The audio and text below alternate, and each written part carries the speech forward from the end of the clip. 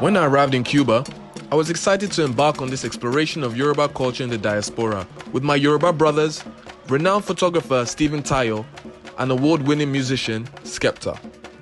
Skepta, who invited us on this trip, bears strong ties to the Yoruba tradition himself, being the ordained chief entertainer of Odo Aje.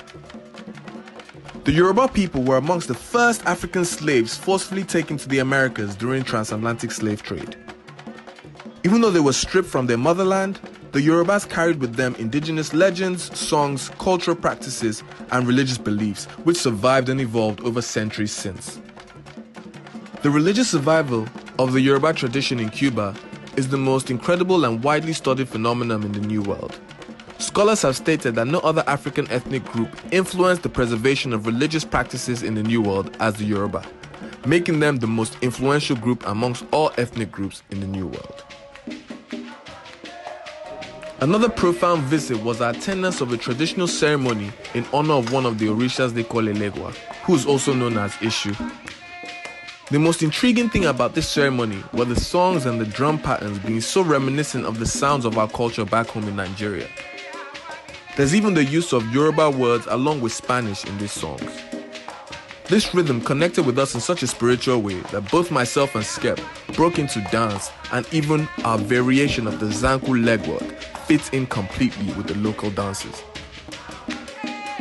On the next day, we met these cool artists in the barbershop who told us they had a studio. So we pulled up to the studio. Skep produced this crazy ass Afro reggaeton type beat in the spirit of Havana. The Cubans hopped on the track and created a vibe. I instantly hopped in the booth, spitting some Spanish, some Yoruba, some English, and it just came out sounding dope.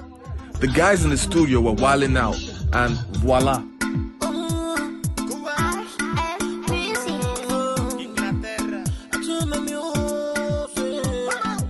She smoke.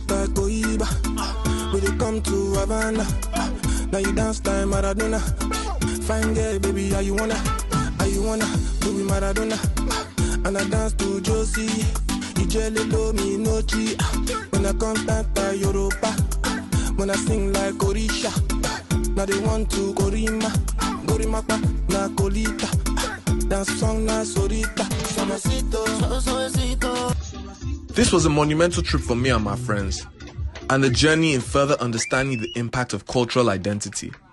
I could never have imagined the similarities in some cultures would be so prevalent today, thousands of miles across the Atlantic after centuries. Where we're from and what we represent is way more powerful than what meets the eye.